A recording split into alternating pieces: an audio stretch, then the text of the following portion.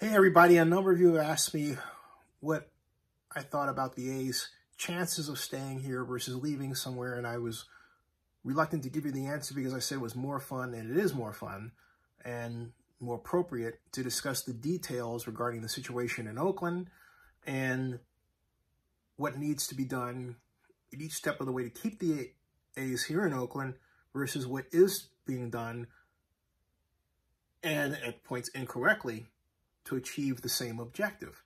But I do think it's fair to give you an assessment of the total landscape of possibilities for the Oakland Athletics regarding relocation. And as you can tell by the title, I've come to a determination. The Oakland Athletics have no place to go. Let me put it this way from the vernacular that was introduced by then National Football League head of business affairs, Eric Grubman. There's no viable stadium option. I repeat, there is no viable stadium option. Let's take the options, let's take the cities. For example, Las Vegas has been pointed to by a number of media outlets as the favorite. I don't really know where that came from, but the fact of the matter is the idea of putting a stadium at what is expected to be the former site of the Rio uh, is a fantasy because there are no concrete plans to tear down that hotel right now. It's in operation. And given the fact that we're just hopefully coming out of this economic uh, downturn caused by the pandemic, why not keep it running and see to what degree it can be put back into the black as opposed to selling it for part of what it would actually be worth and hoping to get financing to build something else there. That right now, unless you have somebody that's just jonesing and has the money to make that happen, doesn't seem like a real possible future expectation at this point in time. And when that will change, it's not clear. Because of this other fact, there are two additional problems. And let's use the Raiders and their move from Oakland to Las Vegas as a benchmark. What Las Vegas had going for it was a multi-year effort called the Southern Nevada Tourism and Infrastructure Committee established by then Governor Sandoval with Stephen Hill as his economic development representative. And that Southern Nevada Tourism Infrastructure Committee led to the writing of the Southern Nevada Tourism Infrastructure Act, which called for a number of actions, including, to make a long and complicated story straight, the construction of the Las Vegas Clark County Large Scale Event Center, which you now know as Allegiant Stadium.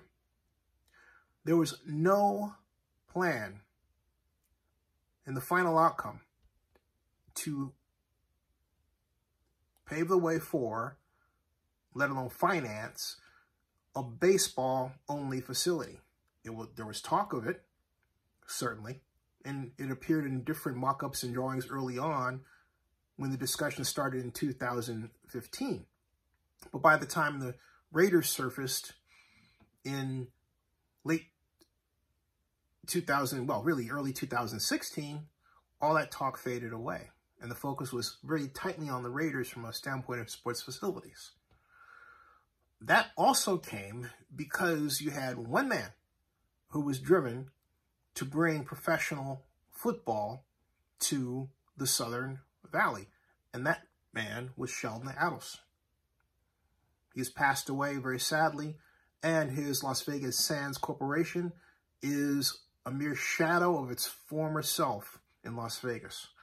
They have no plans to make the kind of outlays, expenditures, and lobbyist buying it did to wrangle a vote for a $750 million subsidy for, for what we now call Allegiant Stadium and what I still call the Las Vegas Clark County Large Scale Event Center, an event center that is not designed to handle baseball.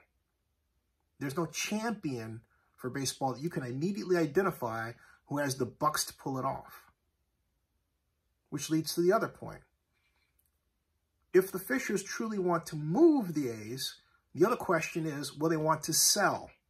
Because why would they simply start all over again in, well, geographically unfamiliar territory when they would have, you know, a better chance of selling it, making the money from holding it for so long and going on to other aspects of life.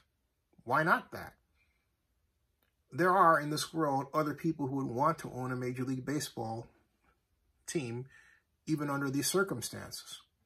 Why not the Athletics in Las Vegas? But even then, no billionaire is stupid enough to spend his or her money on a stadium. Now, lest you scream Stan Kroenke, I remind you that Kroenke owns not one, but I believe six sports franchises.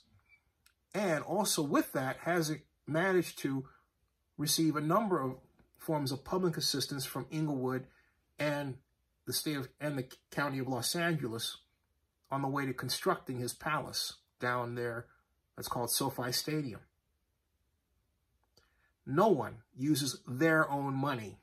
It's always a flow through from operations for one from one facility and another that help pay for the facility that's being built. The private bonds are based on those revenue flows. The backing is based on what, in this case, Mr. Kroenke totally owns. Here's a very unusual example of a person who quite literally take sports revenue from one organization he owns over in the European Union and use it, if he chooses to do so, for his Rams in the United States. There isn't anyone right now that's focused on Major League Baseball in Oakland who has that capability. And then let's continue on Las, Las Vegas. Let's say that you're talking about the legislature and you believe that somehow the Nevada legislature would be willing to make that same deal. Well, who's going to convince the Democratic-led legislature to do that? At this point in time, in the middle of a pandemic, when there are so many services to be paid for, when Nevada has turned blue Riddle me that, because if you insist on that idea, I would ask you, are you at all aware of the political situation today, let alone the one in Nevada and Clark County in Las Vegas? Okay. I'm not saying it's impossible, but I'm saying comparing the Raiders situation in Las Vegas and Oakland and the A's situation in Las Vegas and Oakland, the Raiders score at a 10 because they got it done. The A score right now is at about a 1.5. They have that much more to go.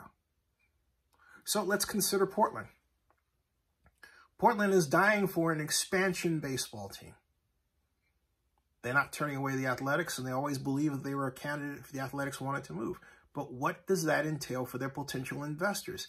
And have they received total entitlement to build a stadium on the grounds in Portland? Do they have the total amount of money to do that? And would the investors, including Russell Wilson and his wife, be willing to essentially move aside for the Athletics and John Fisher, or are they capable of buying out John Fisher? That's not clear. So again, we have a stadium concept but we don't have clear financing lined up. And then there's Nashville. Nashville just unveiled a possible look for its stadium a year ago in June. And the people that are pointed to as potential investors are said to only have $1.1 million in the bank to contribute to the situation at that point in time. I seriously doubt the situation has changed in a year during the pandemic. So, and not only that, we also don't know to what extent those same people were impacted by the unfortunate events of the horror of that explosion in downtown Nashville last year. So, when you look at the most likely candidates for relocation, when you consider them, right now it doesn't look good. The only option is Howard Terminal. The Coliseum, the A's don't want to be there for obvious reasons. Because in roughly a generation, they will have a gigantic flood problem that neither the city, the county, nor the state at this point in time has done anything about. Nothing.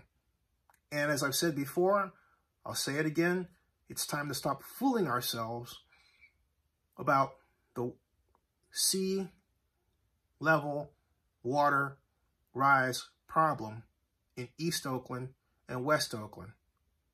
A problem that plagues Howard Terminal much less and therefore is more easy to mitigate using tax increment financing funds based on the past the past legislation called SB 293 Skinner than would be at the Coliseum.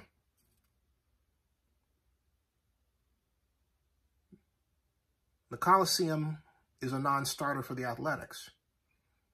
But if they can't get a deal done at Howard Terminal, where would they go? Where can they go? The only option is that John Fisher would simply have to sell the team or simply ride it out the Coliseum until the political climate was different. And then again, there's another question. How long are you willing to remain there, given what would be the fact that the city, the county, and the state have no intention of fixing a gigantic infrastructure problem, which is would doom the A's being down at the Coliseum eventually anyway. At some point, he would have to sell the team. So there you are. Subscribe to Zennie62 and bookmark oaklandnewsnow.com.